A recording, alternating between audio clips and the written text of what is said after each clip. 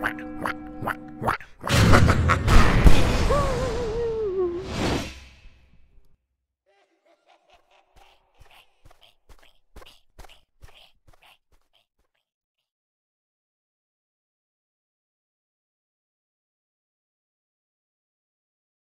Do not forget, you can support the channel with a like and you can also subscribe to be aware of the latest published videos. Thank you. We hope that here you can find the latest news, ideas, and discoveries from the scientific world. Microsoft's Bing chatbot has started acting defensive and talking back to users. Microsoft's fledgling Bing chatbot can go off the rails at times, denying obvious facts and chiding users, according to exchanges being shared online by developers testing the AI creation.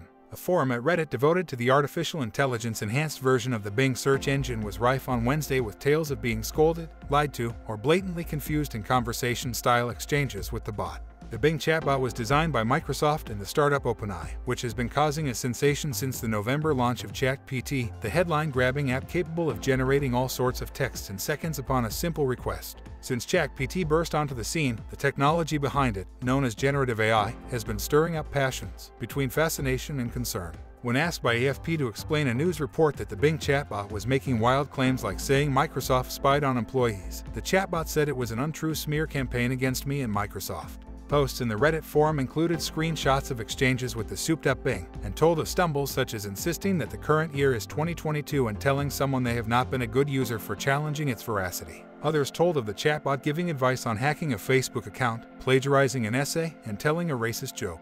The new Bing tries to keep answers fun and factual, but given this is an early preview, it can sometimes show unexpected or inaccurate answers for different reasons. For example, the length or context of the conversation, a Microsoft spokesperson told AFP. As we continue to learn from these interactions, we are adjusting its responses to create coherent, relevant, and positive answers. The stumbles by Microsoft echoed the difficulties seen by Google last week when it rushed out its own version of the chatbot called Bard, only to be criticized for a mistake made by the bot in an ad. The mess up sent Google's share price spiraling down by more than 7% on the announcement date. By beefing up their search engines with ChatGPT-like qualities, Microsoft and Google hope to radically update online search by providing ready-made answers instead of the familiar list of links to outside websites.